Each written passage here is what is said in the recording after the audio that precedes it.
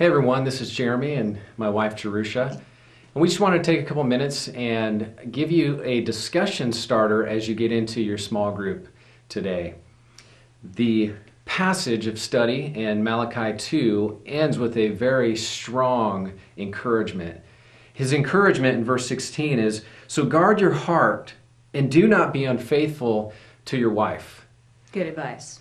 What does it look like to guard your heart? We just wanted to take a couple minutes and give you three ways in which you can do that. The first is to guard what you see. King David in Psalm 101:3 says, "I will not set before my eyes anything that is worthless." And if we're not careful, the things that we watch and the things that we view on the internet can just fill our hearts with that which is vulgar and vile. And so we actually need to be careful what we see and be careful what we allow ourselves to watch because what happens is as we fill our hearts with these vile things, they will pour out into our relationships and they will impact our marriages and our dating relationships. The second is to be careful what you say. The psalmist in 141 verse 3 says, "Set a guard over my mouth.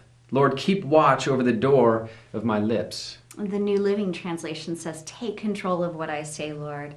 And I like that because as a woman, it's kind of easy to fall into gossip sometimes um, or speaking disparagingly about my husband. And that's not something that I want to do. And it's something that I would encourage everybody out there as well to speak positively around others about your spouse, to build them up and esteem them in the Lord whether you're married, single, dating, whatever stage of life that you're in, this principle of keeping watch over what you say is so important. Jesus reminds us in Matthew 12 36 that we have to give an account for every careless word that we speak. That can be a little intimidating when you think about giving me an account of every word that you've spoken. But when we determine in our hearts to let God set a watch over our lips, then we can trust Him to help us speak so are you seeing the, the pattern here? Be careful what you see, S. Be careful what you say, S. And the third is be careful what you stress. Hebrews, not stress like, oh, I'm so crazy, but what do you focus on? What do you bring to memory? Hebrews 12, 14 through 15 tells us work at living at peace with everyone and work at living a holy life. For those who are not holy will not see the Lord. Look after each other so that none of you fails to receive the grace of God. Watch out that no poisonous root of bitterness grows up to trouble you, corrupting many. If we're not careful, anything could rub us the wrong way. Anything and anyone can cause a, a root of frustration that turns into a bitterness that grows, and those little roots destroy relationships. Mm. They destroy marriages.